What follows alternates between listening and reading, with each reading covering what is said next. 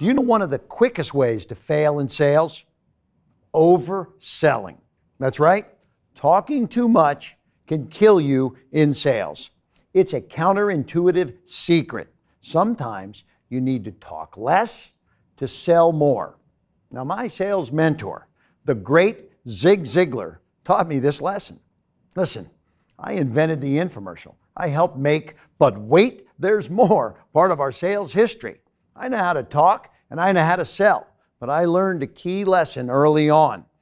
Don't oversell, and especially don't make promises you can't keep just to make a sale. Selling isn't about manipulating someone into doing something. Selling is about giving value and helping people find solutions to problems so they can live more fulfilling lives. Mr. Ziglar always insisted that if you want to succeed in sales in the long term, well, Zig, why don't you just take it from here? Sell professionally. Sell with the right skills, sell with the right intention, but don't oversell. I believe that's one of the most important secrets if you're going to build a career in the world of selling. Sell what it is, sell what it does, sell its true value, but don't exaggerate that value.